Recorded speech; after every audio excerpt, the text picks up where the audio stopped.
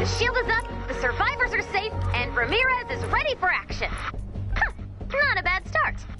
Locke, let's see that status report.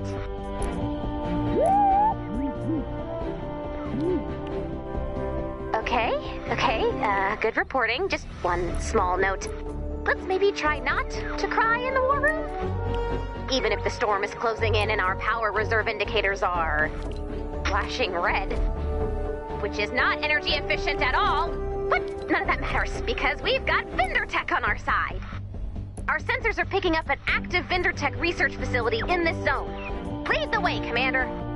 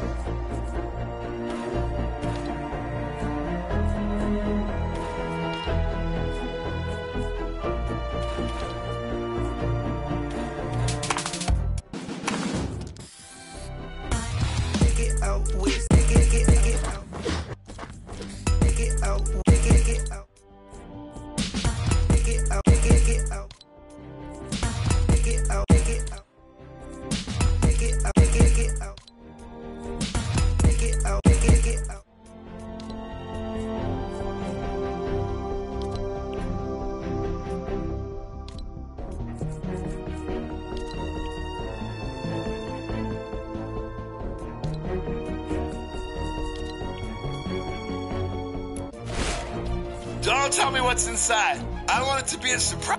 Axe. Oh, yeah. You got the goods.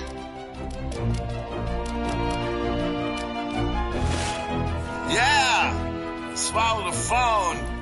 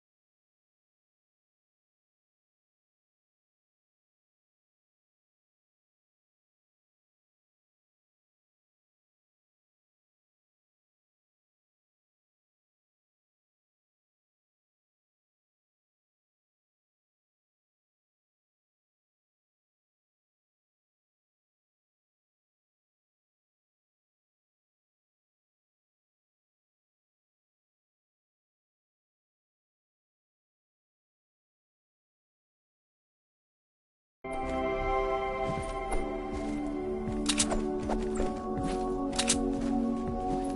fate of the world now rests on you, me, and some guy from tech support. Who, let's face it, may no longer be with us.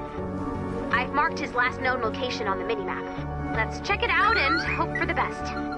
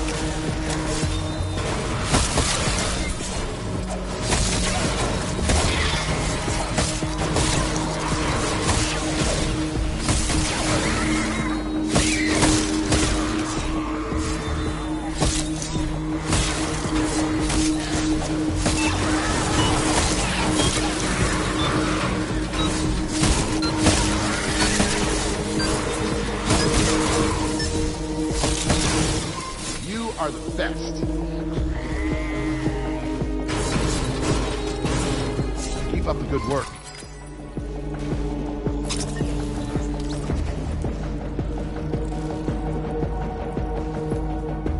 This does not inspire confidence. Let's see what's inside. And this inspires even less confidence. Let's take a look around. Nice job!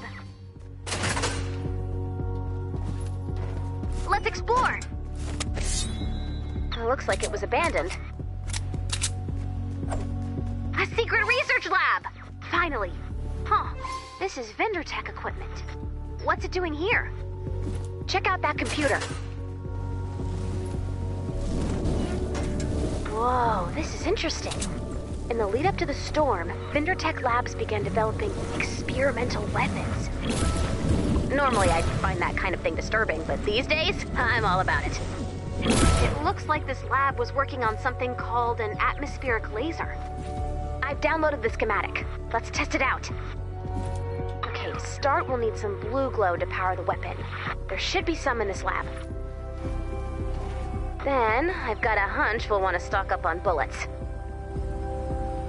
There are two ways to craft bullets. You can open your inventory and select the bullets you want to craft, or you can hold reload on your current weapon to auto-craft the bullets you need. Let's craft some bullets. Can't. Nope.